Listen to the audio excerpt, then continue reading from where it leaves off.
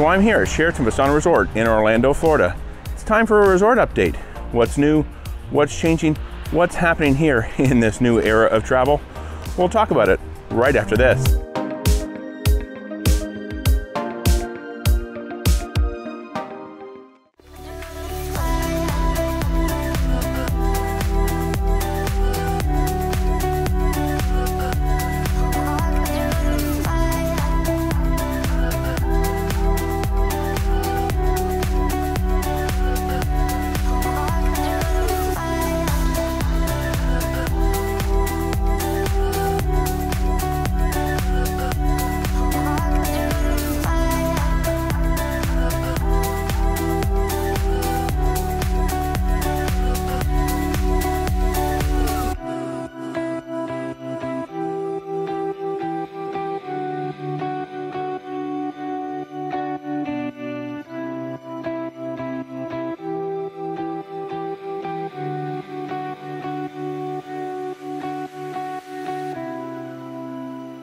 Hello and welcome to Destination Timeshare. I'm Jeremy.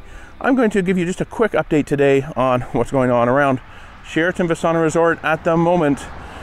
Things are kind of pretty much back to normal here for the most part, but uh, we'll give you a few more details as we walk around the resort.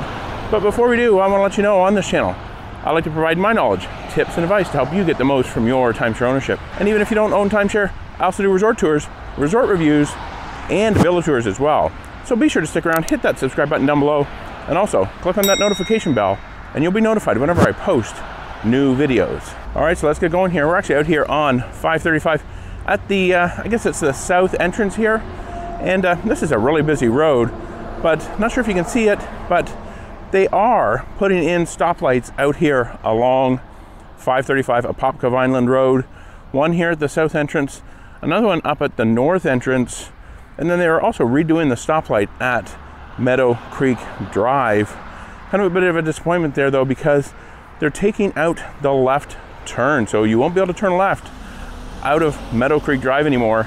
But these lights here that they are putting in at the main entrances will make it easier to turn left into here and even turn right out. This is an extremely busy road. There aren't really a lot of gaps in traffic during the day. So hopefully these lights help alleviate that, make it a little bit safer turning in here and turning out as well. But you won't be able to turn left out and now, like I said, up at Meadow Creek Drive, that was a tip I previously provided to exit there because you could turn left. Well, they've taken that away. So now let's continue on. We're gonna head in the gate here and we're gonna take a little bit of a walk around the resort and I'm gonna tell you what else is going on. So another update here at Sheraton Vistana Resort is that over here in the Palms phase, they're doing roof replacement work. So you'll hear noises like that.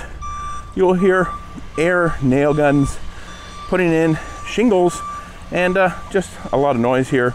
Actually, it looks like they may be on break here at the moment, but uh, we do have a uh, lift that is moving around here behind me. But yeah, that is one thing they're doing here. Keeping the place up pretty well, but uh, definitely might put a little bit of a damper on your vacation if you're located either in this section or near this section. Okay, so the next thing here, when you check in, you're gonna be asked to go see the concierge to get your parking pass. Concierge is just another term for somebody who tries to sign you up for a timeshare presentation. We are owners here and we didn't sign up for a timeshare presentation. They gave us little yellow wristbands. They said, hey, that is an owner's band. It's good for 10% discount around the resort at the different restaurants. So if you uh, want to get a discount at some of the restaurants, do pick up your owner's band. Now, they did say, hey, you're going to see some people with some blue wristbands. Those are people that signed up for a presentation. Now, oddly, this was when we'd actually been here a couple weeks ago. They gave me these yellow bands, and when we checked in this time, I actually did sign up for a presentation. They didn't give me any bands. I don't know what the deal is, no rhyme or reason. But if you uh, want to get discounts, ask for the owner band. They said the blue band gave better perks, but they really didn't explain too much about what the difference is. I don't know why there's different colored bands. I don't know why it matters if you sign up for a timeshare presentation or not. If you're an owner, you're an owner. Okay, I'm over here in the Cascades phase, just uh, coming up on the gazebo here, just to give you another quick update on pools and pool hours. This is something I seem to love about Orlando resorts. They have long pool hours. At least here, three of the pools, the three bigger pools, fountains, spas, and cascades are all open till 1 a.m. That is pretty cool.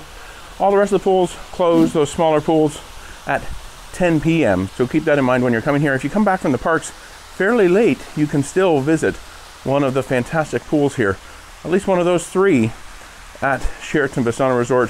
Definitely a great thing to have because I do love those extended pool hours. All right, I'm just outside the marketplace here at Sheraton Vistana Resort to give you an update on that. The last time we were here, and some of the other times before that, they were kind of clearing it out. I'm not sure if they were converting to maybe a new vendor or a vendor to run the operation here, but there really wasn't a whole lot of merchandise in there. In fact, I got this resort cap for Sheraton Vistana Resort quite a while ago, and the last time we were here, this was pretty much empty, at least of merchandise, t-shirts, caps, those kinds of things. But uh, they did always kind of have food items and sundries, but it looks like it's back up to its full operation.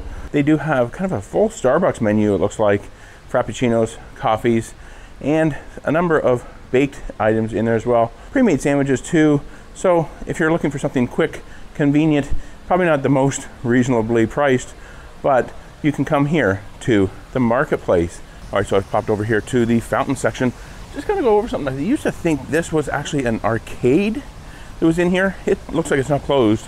There's no arcade games, no games in there at all. Right now they're doing a Kris Kringle's Elf Training Academy in here until December 30th. So the arcade that used to be here, I remember it other times we've been here. It looks like it's now gone. Okay, the next quick update here is just happens to be the uh, Mai Tiki Hut. It is actually closed for renovations, they say, just the restaurant. So my understanding is the bar over there is still open, so you can get drinks by the pool over in the fountains pool, or you can make the quick walk over from the lakes pool as well. But uh, yeah, the uh, restaurant is closed, so no food available over there. They do have Zimi's, which they state is open till 10 p.m., but I've heard a number of people complain that it has closed early. And then they have Castaways here at the Cascades pool as well. So I don't really know the hours on that one, but it is also open for food and drink. So definitely good to have those restaurants kind of back up to full operation. But like I said, keep in mind, no food over there in the fountain section at Mai Tiki Hut. Okay, so there you have it. Just a quick resort update here from Sheraton Vistana Resort in Orlando, Florida. Hope you found it useful. If you're planning a trip here, let me know in the comments below. I'd love to hear all about it. And if you have any questions that maybe I didn't cover in this update, feel free to leave those in the comments below and I'll get back to you. If you like this video, please be sure to give it a thumbs up. Really helps out the video and also helps get it out to more people looking to come here to Sheraton Vistana Resort. And if you want to see more videos all about timeshare, check out the description box below for another video from Sheraton Vistana Resort. Check out this one right up here and YouTube. They just know you'll like that one down there. Be sure to subscribe. You can do so by clicking on my picture right here. Hit that notification bell. And until next time, let's make your next destination a timeshare.